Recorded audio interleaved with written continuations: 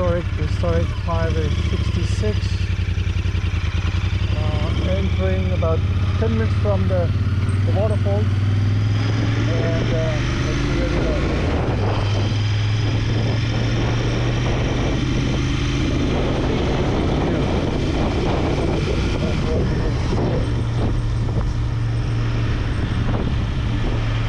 Hey guys, welcome back to Riding with Kash. So today we're gonna go out to check out a man-made waterfall. I want to loop the chain to make sure you know we're taking care of it and then to the right uh, maintenance at the right schedules.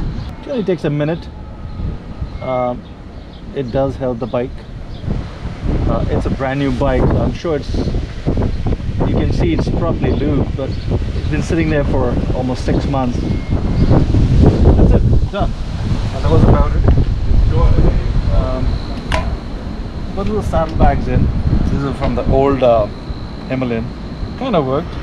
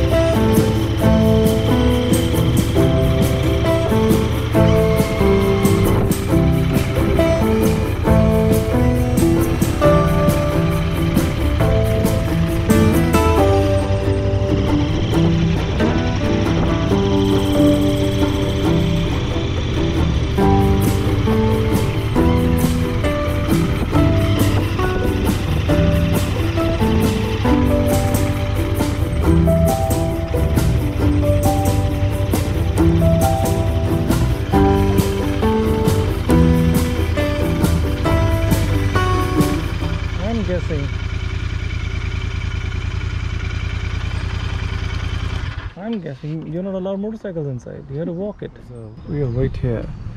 But the fall's right here. I can hear the waterfall. Let's see how far it is. And it's about seven miles.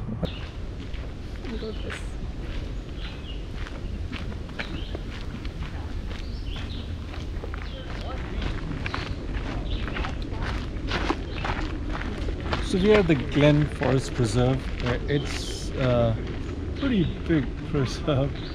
I found the shortest path to the waterfalls.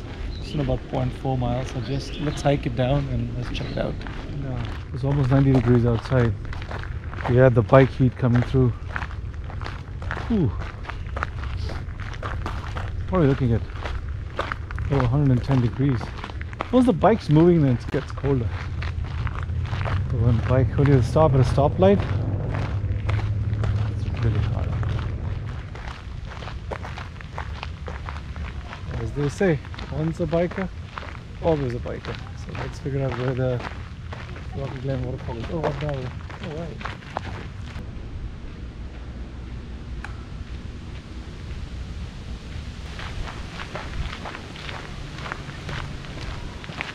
Yeah, pretty much. Pretty close to it. Alright. Wow. And this is all man-made.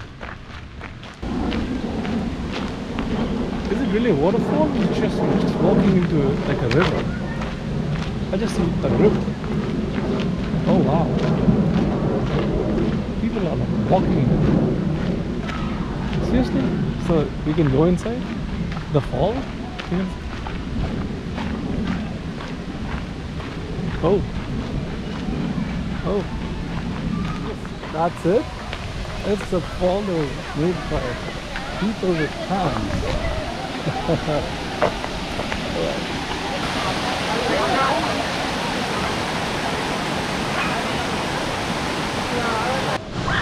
So that's the story.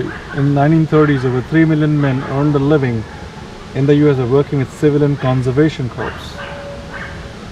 The corps was part of President Roosevelt's New Deal to combat unemployment during Great Depression. hence this waterfall. This waterfall was man-made during the 30s during the depression. So that's the significance. That's why it's so important. That's why it's, it's, it's so pretty. It's so beautiful. It has value. I just remember there's a big Hindu temple in the area, not very far from here. So there's some nice food, maybe a lot of good water, and got dehydrated in this heat. So that'd be great. I just say a little prayer and go eat something and visit the temple. So, and uh, might be a good idea. Let's go.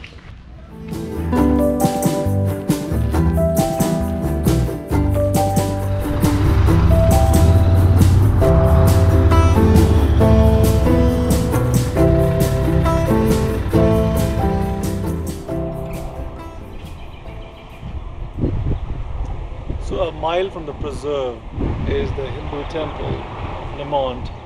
We're so nearby. It's a good time to go inside, say a prayer, and uh, right back home.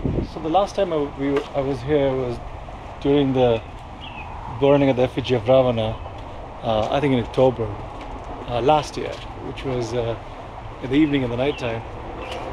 And it was down on the other side of the temple, but today it's in the daytime.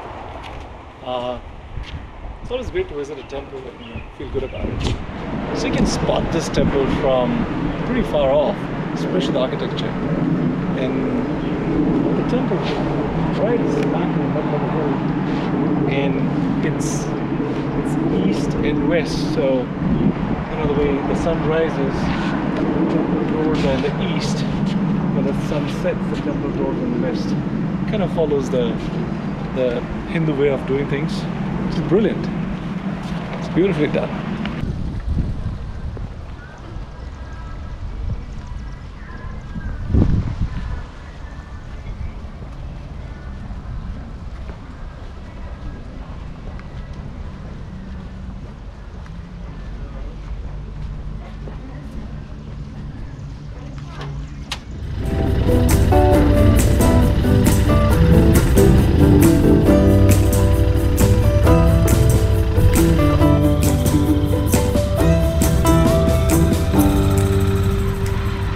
If you like watching Riding with Kash, hit subscribe and join me on the next ride.